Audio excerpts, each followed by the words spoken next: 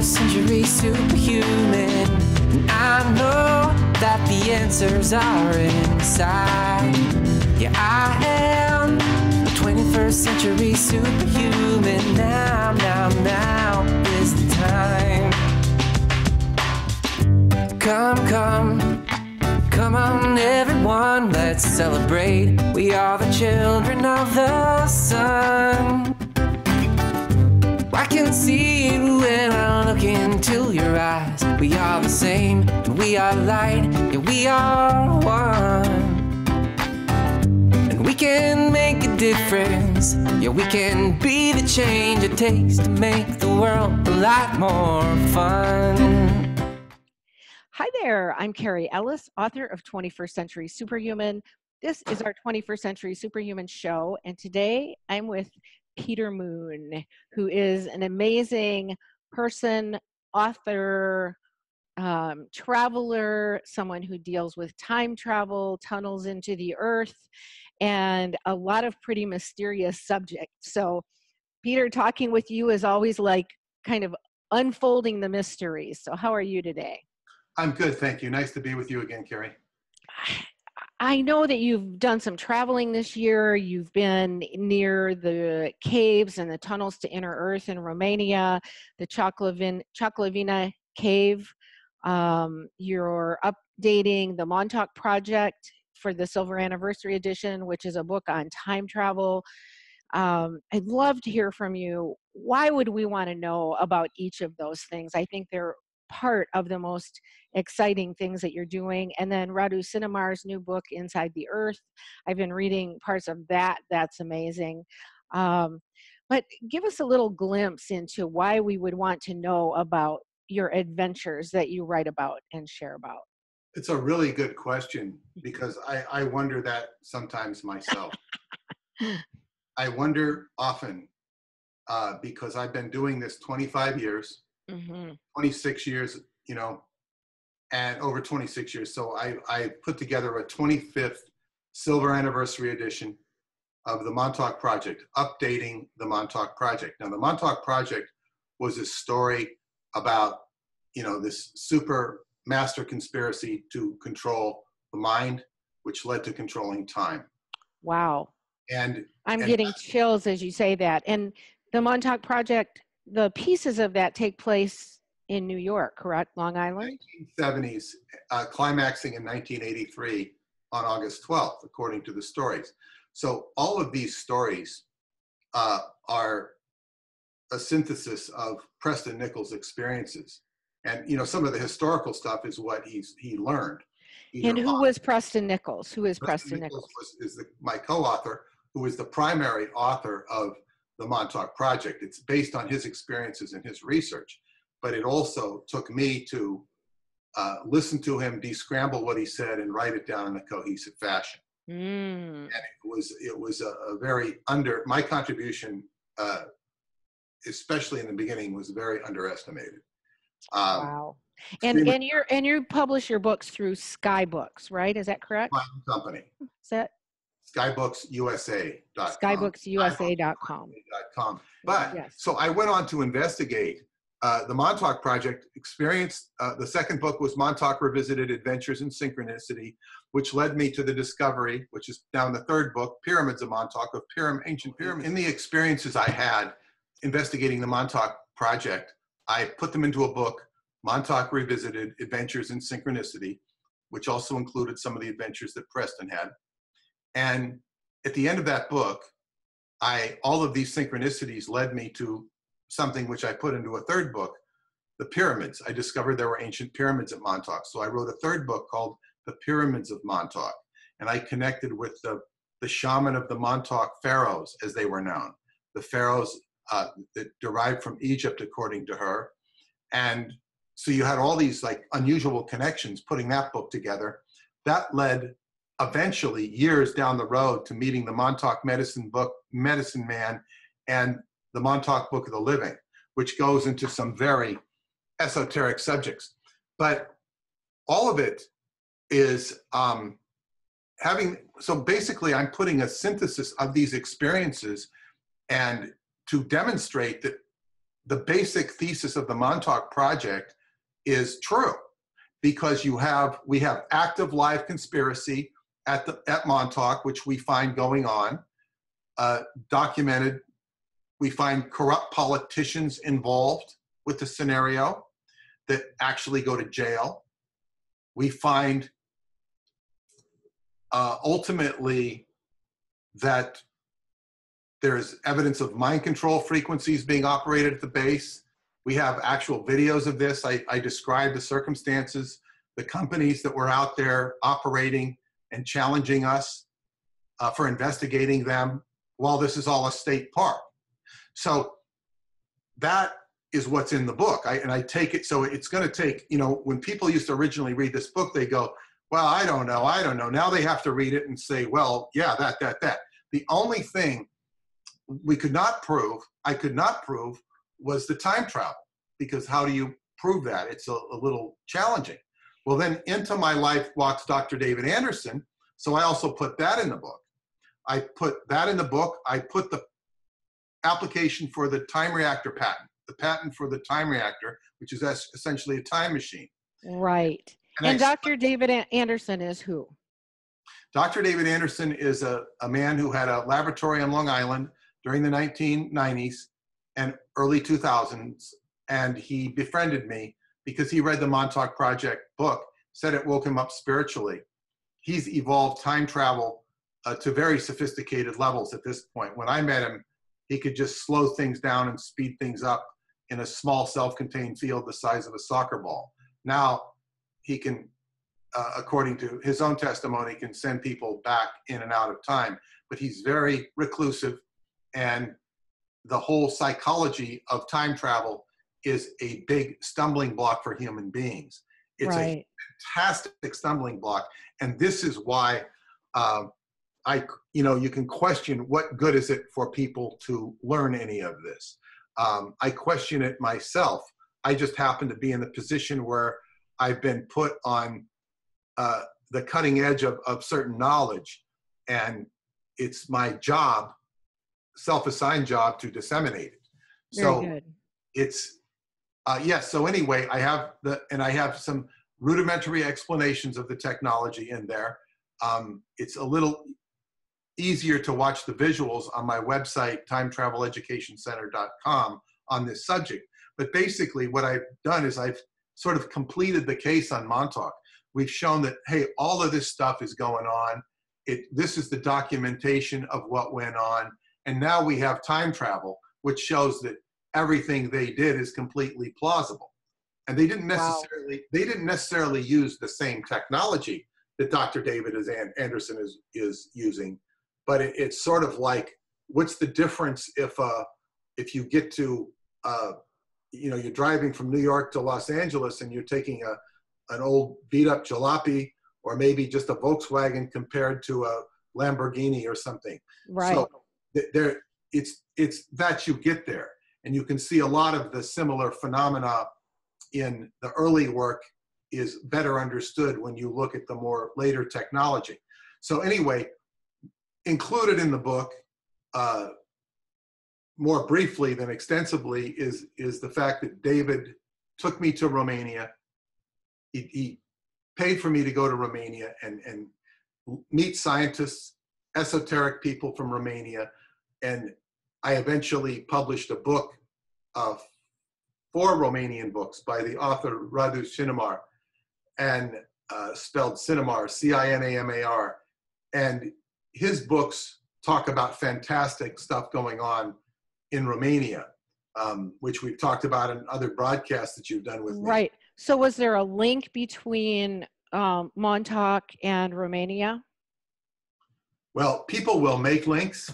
Or, I mean, uh, what was the link for David Anderson, I should say? Because he, once you worked on Montauk, then he wanted to bring you to Romania for a very specific reason, right? Well, right after he had been to, see, Romania is a very special place. And more specifically, this camp called Atlantykron is a very special place. Now, that, that was my gateway to Romania. There's no bones about it. Atlantykron, which is a camp for artists, writers, and scientists where they gather and the main impetus of, of the camp is to teach young people in different disciplines, ranging from sports and martial arts to complexity studies, science, uh, ranging from all across art, um, dance, music. They have a music program, and it's it's informal, but it's it can be very life changing for people. So uh, this year, we had well, we uh, for many times the last several years, we've had the two uh, engineers that are the, the main engineers on the Mars rover, Curiosity. And they uh, Skype in to the event and they answer questions Wow. and they talk to, you know, the people there. Right. The last couple of times I've, I've been there, I've, I've asked questions myself and now I'm inviting them to come next year Interesting. actually participate in the camp. And that is uh, because we have, and of course, they've talked with uh, Romania's only cosmonaut that went into space, uh, Mm. Dimitri. Uh, I don't remember how to say his last name, but I know him well. And uh, so there, there's a lot of high level people that, you know, participate, particularly from Romania. Um, and it's primarily Romanians. So it would be very interesting to to connect with uh, that other part of the world for them and to because this camp has had it has tremendous uh, energy that runs through it. So you can say that Atlantykron is what brought David Anderson. They brought David Anderson into their lives by their energy, and Interesting. and, and now David Anderson brought me there.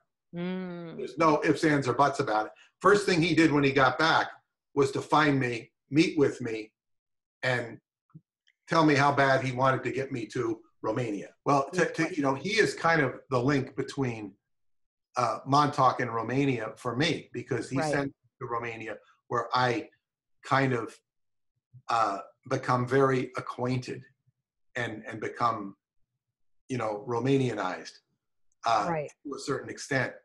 And it's uh, and I, I don't go there because I love the country. You know, it's I don't have that. I go there because my work is there. Right. It's, it's like um, it's not like I've fallen in love with Romania. Um, I certainly have a deep appreciation because it's it's sort of like the soul of the planet. But I, it's it's my work. Um, so anyway, uh, to get back to Montauk, you were saying that yeah, Preston Nichols, uh, my co-author, uh, is having severe health issues, as is Duncan Cameron, the uh, person who was cited as the main psychic of the Montauk Project.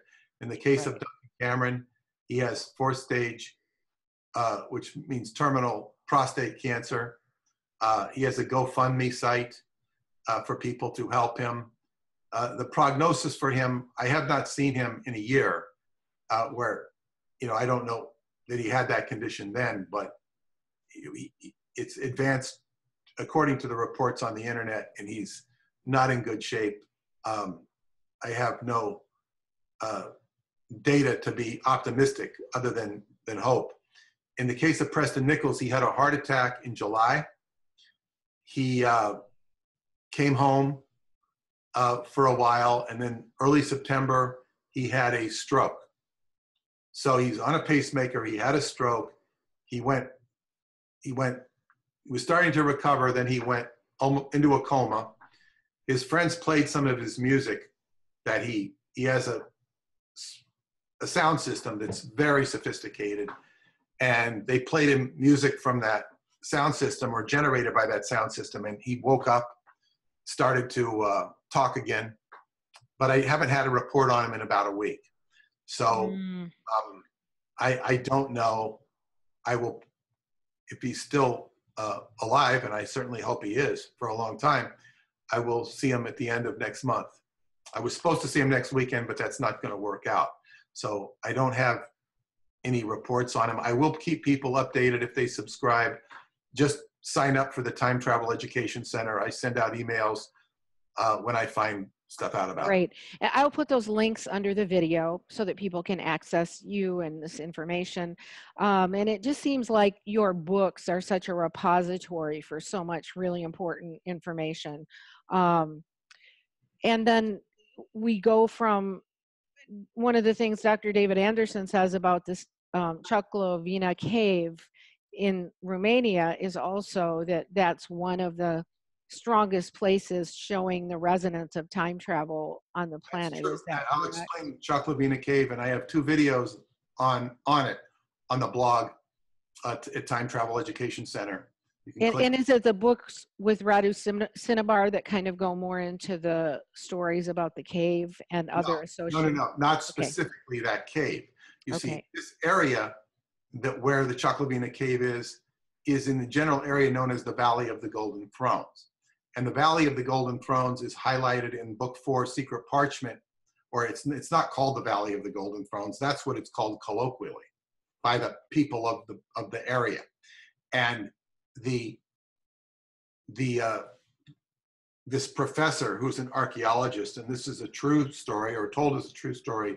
Um, one of the workers helping him on the dig uh, finds a, an underground passage, and they go down the passage, and it becomes more and more gold, pure gold eventually, with golden tunnels. Now, it's a fact, it's a geological, undisputed fact that there's tremendous gold deposits down there.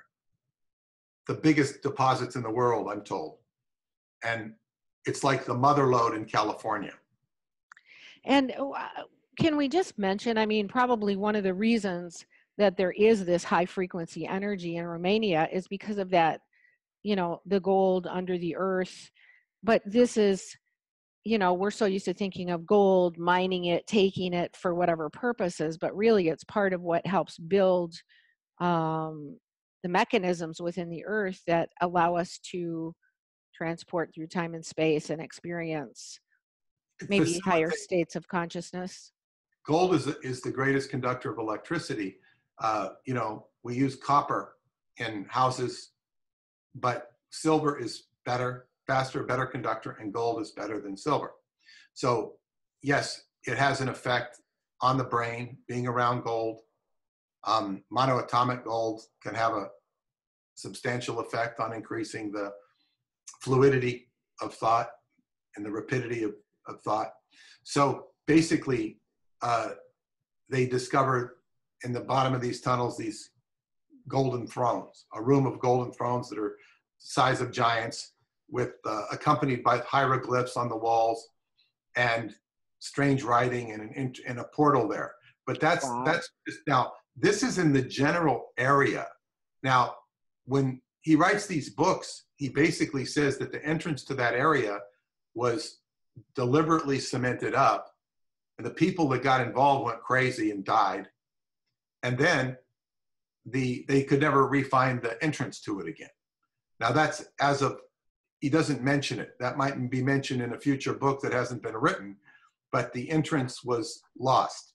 Now, where it was exactly is now this is in the general vicinity of what David Anderson, Dr. David Anderson, completely independent of these books, uh, by his research said that there was evidence of a discharge from a time reactor or time machine because uh, when you have a time reactor, it has the potential to create, manifest huge amounts of energy, which is explained in my Time Travel Theory Explained video series.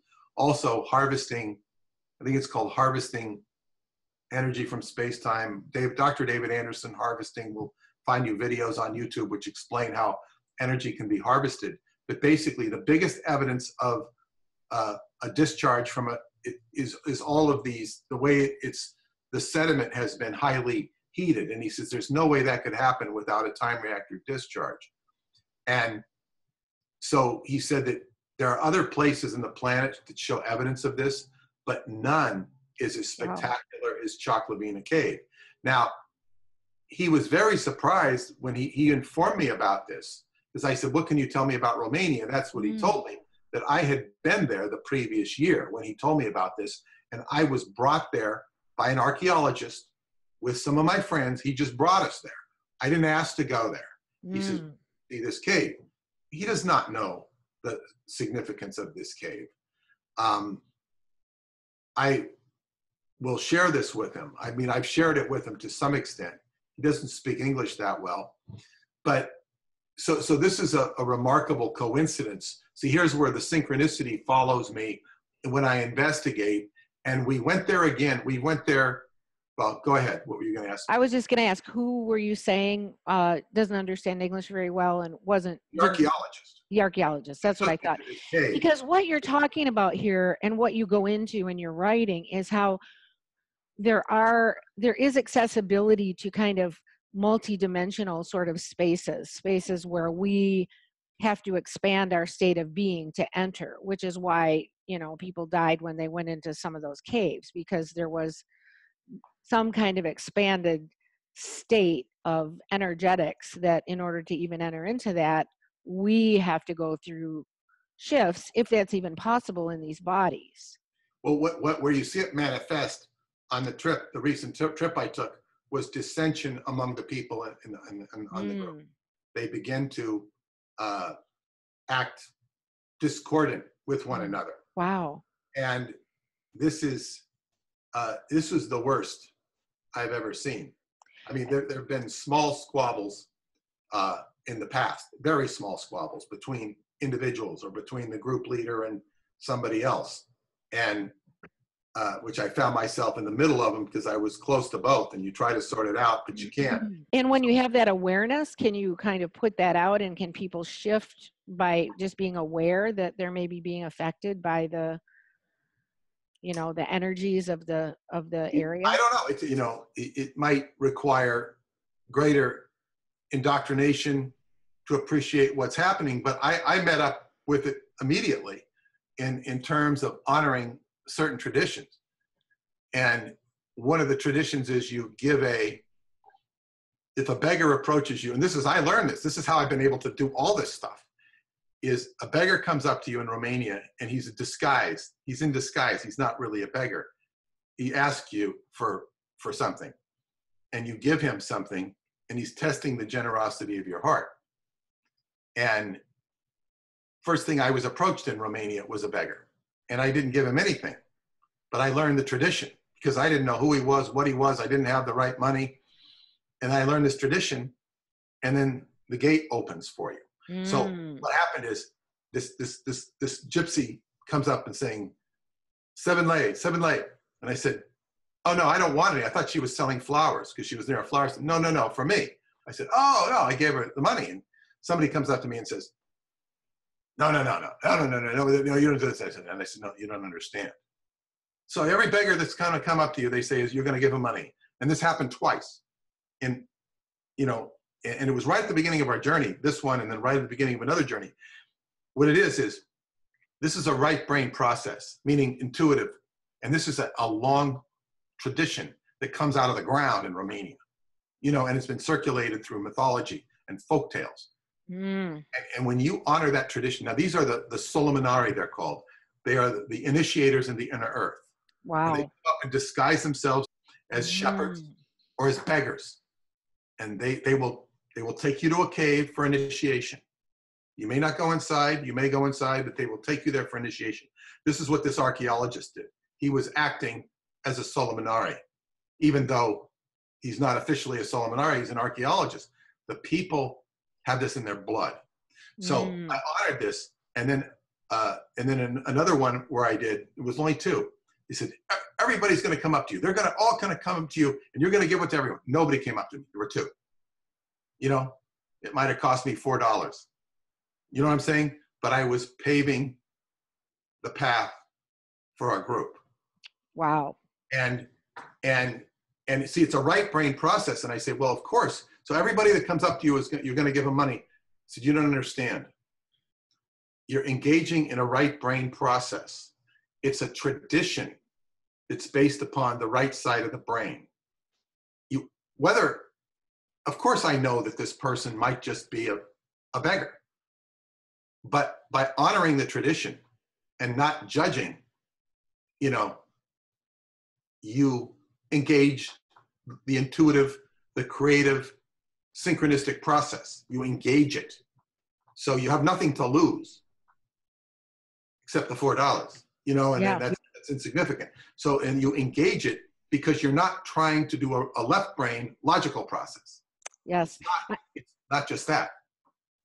I know when I travel, I always carry some, you know, some spare change, different kinds of things in my pocket because when there's somebody and they quietly beg, you know, it's not like they're, uh, and I, I haven't gone necessarily to Romania, but there is an energetic there, you know, when you participate in that giving and that receiving.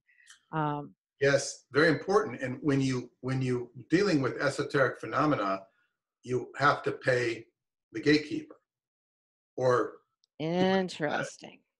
so if you don't understand, there are guardians in place. If you don't respect, understand them, you will you will be shortchanged on the journey or not have the journey.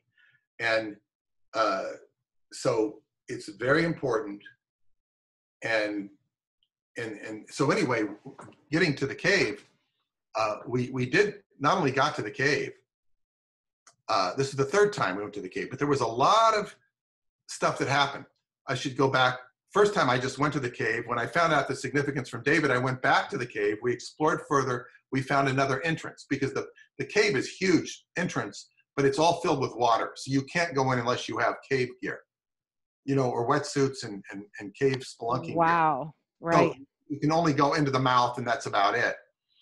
And then we, the second time I went back, which I think was two years later, I went back and, and I found a, which was really a mining entrance to the cave. But there's a metal door, which is about the size of a, you know, big TV screen. Uh, you can get through it, but you kind of have to, you know, angle yourself through it. But it, but it's it's closed. So I say, okay, okay. So this year when we went back, um, before we got there, the cave was already opening its secrets because the way you deal with these caves, this is the ancient tradition of the patron god of Romania, which is named Zalmoxis.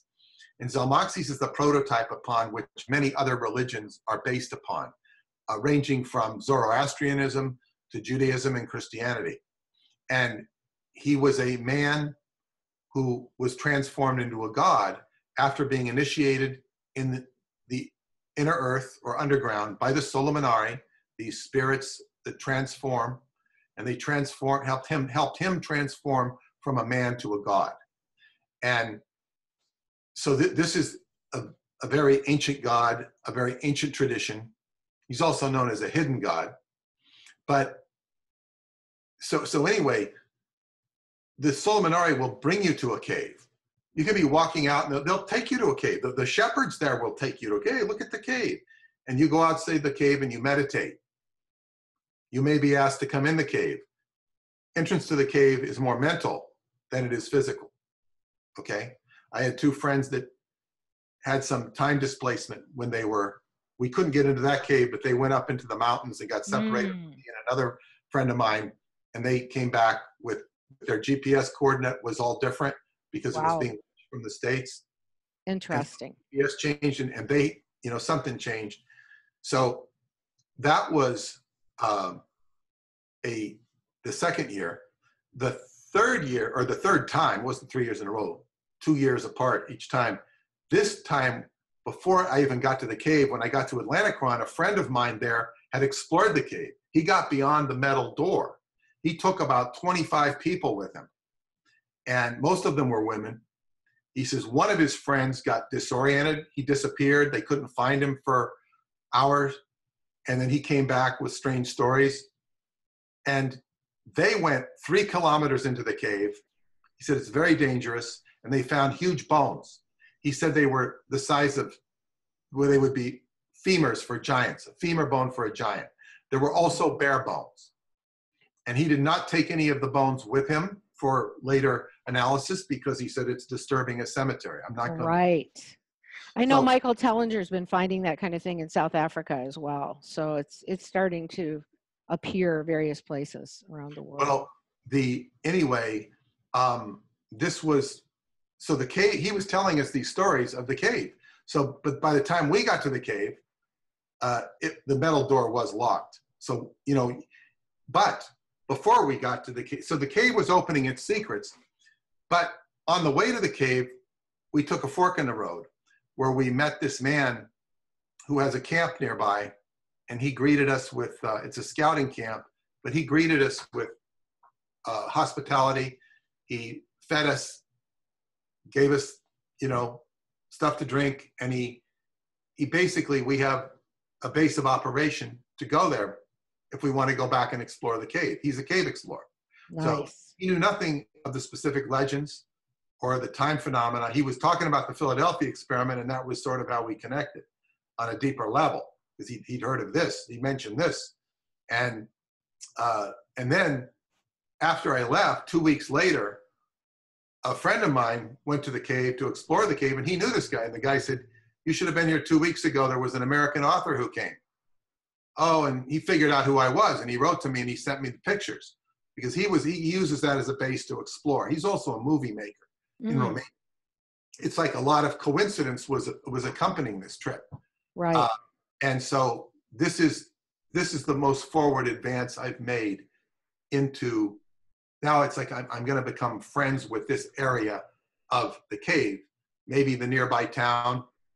You know, it gets more and more obscure, but because it's you know the road to get there uh, was perilous the last time I went. Not this time, but it's it's a rocky road. It's not easy. Uh, and and so anyway, that's that's that's as much as I've explored the cave, and um, it's pretty exciting. I, I know, Peter, pretty much everything you write about, you're full of all these amazing stories about esoteric mysteries. I mean, things that we are in the middle of learning about and being able to kind of grow the next step in our consciousness and our awareness. And yours, what you tell about are actual things that are happening, and it makes it even that much more exciting. You know, it's beyond theory. It's, you know, it's it's sort of like Indiana Jones in action.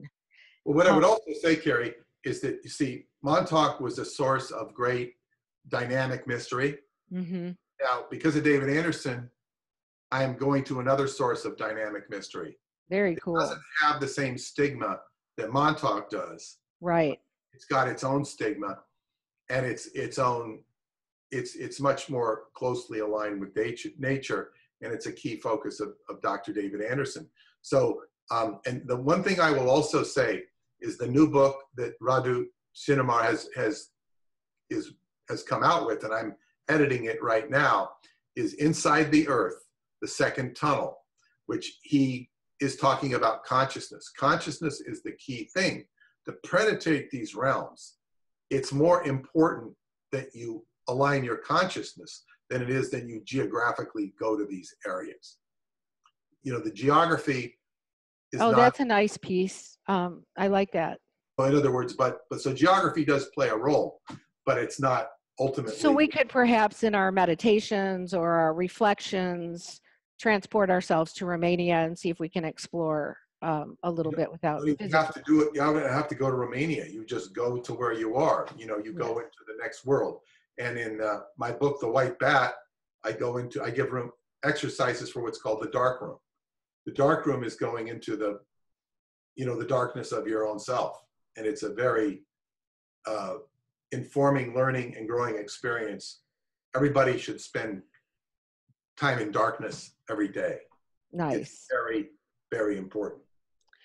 Well, Peter, thank you so much for visiting with us. Um, I want to encourage people to check out your books, check out your um, your learning center. I'll put those links under the video. We'll, I'll also put the links of the other talks you and I have done. Um, we've had some good conversations over the last couple of years, and um, really, really, really the the work that you're doing. It's done so well, and you're um, your writing, your stories are interesting, entertaining, inspiring, opening up uh, um, to new ideas and possibilities and um, things that we may not be aware actually exist in our world. Um, like to encourage people to check out your work.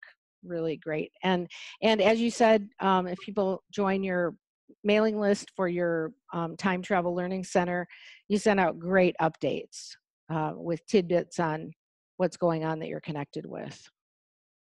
Okay, great. Thanks so much, Cary. All right. Thank you so much. And I want to remind everybody to breathe, smile, and love. By changing ourselves and accessing our higher states of consciousness, we change the world. All right. We shall see you all soon. Adios.